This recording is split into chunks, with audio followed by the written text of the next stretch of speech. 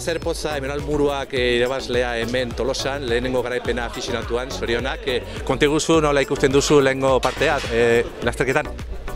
Bueno, eskerrik asko. E, karrera oso azkar junda hasieratik, e, lehenengo larra arte isaldia nahien oso oso azkar jungea, eta bueno, azken isaldi bat da, baina bueno, guk bitaldik izartu ditu, eta bueno, bintzat piskat lasai, baina ez zigun guztiz balio eta orduan karrera moitza erabaki dugu, eta ba, azkenen mirugarren buelta arte ez da iesaldi hain, da a, tope, egun guztia. Eta altzon ze pasatu inda, e, Ganzabal eta, eta Imanuel Alvarez em, aurrera jurin da, baina atzetik zuek planteatu duzue e, e, zirte dozar, laboral kutsak e, irabazi behar duela e, etapa honetan, nola azken izan da azken kilometrak?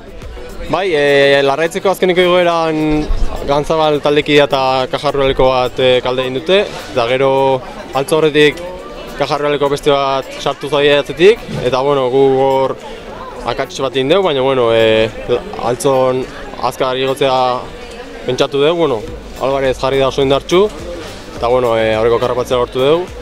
Bueno, Alvarez junda gantzabalekin, eta bueno, ni altzokoa naiz, eta jetxira oso ondo zautzen dut, eta bueno, ba, momentua ikusi dut erasoa jotzeko, eta ba, aldapa bera aurrera sartzea gortu dut, eta hoi, e, gero Gantzabal eta nire artean Alvarezei pare bat eraso jodi ditu, eta azkenen nahi tokatu zait alde egitea, eta helmu gara nio.